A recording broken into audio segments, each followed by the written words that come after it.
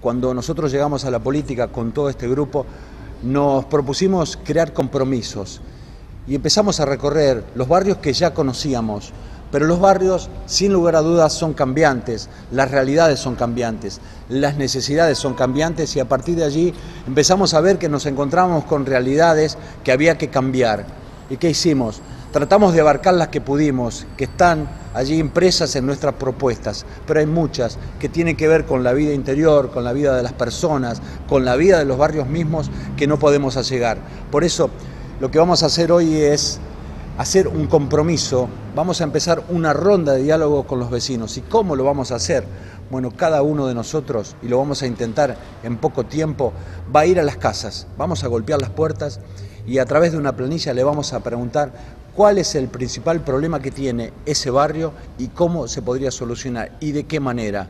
Lo vamos a hacer casa por casa porque a veces los vecinos nos salen a comentar sus problemas, a veces la política no llega a ellos. Nosotros sí lo vamos a hacer y lo vamos a hacer a través de una ronda de diálogo que empezamos mañana mismo en varios cordones de la ciudad. Nuestros eh, allegados, nuestros militantes, nosotros mismos vamos a ir a golpear las puertas preguntándole a los vecinos ¿Qué es el problema que más les acoge? ¿Cuál es el problema que deberían solucionar? Con todo ese material, dentro de muy poquito, llámese una semana, diez días, dos semanas, nos vamos a comprometer a que todos esos problemas, por eso esto se llama compromiso, nos vamos a comprometer que todos esos problemas que vengan de los vecinos van a estar discutidos en el Consejo. Muchas veces en la ciudad eh, no se sabe cómo se discuten las prioridades, quién termina tomando las definiciones, y ya se toman desde lugares lejanos. Bueno, en este caso, la idea es que este equipo, junto a los vecinos, establezcamos cuáles son las prioridades para la ciudad que viene.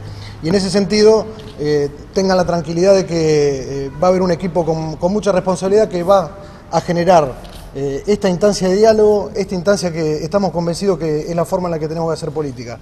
En definitiva, golpearemos la puerta, aquellos vecinos que quieran colaborar con esta, con esta propuesta, este modelo de, ciudad y de gestión, eh, van a poder listar las prioridades, esas prioridades van a, venir a, todo este equipo y después la vamos a transformar eh, en proyectos para discutir la ciudad que viene.